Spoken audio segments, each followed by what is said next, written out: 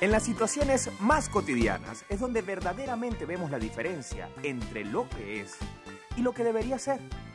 Fíjense bien, así es.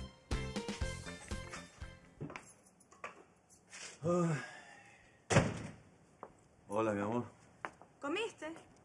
No, no, no, no he comido nada. Todo el día trabajando. Porque aquí en la casa no hay nada que comer. Además, estuve todo el día ocupadísima arreglándome las uñas. Sí, mi amor, pero yo vengo muy cansado. Por favor, prepárame algo de comer. Párame un poquito. Ay, no, chico, tú estás loca, prepáratelo tú. O si no, llama a los chinos.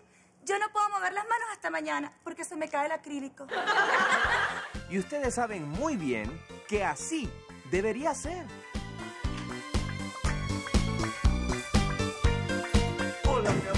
Ya llegué. Muñeco, te estaba esperando. bonita. ¿Y qué me preparaste? Tu comida preferida. ¿Sí? Comida china. Y después de la cena, el postre. Ay, el postre, el que me gusta a mí. Claro.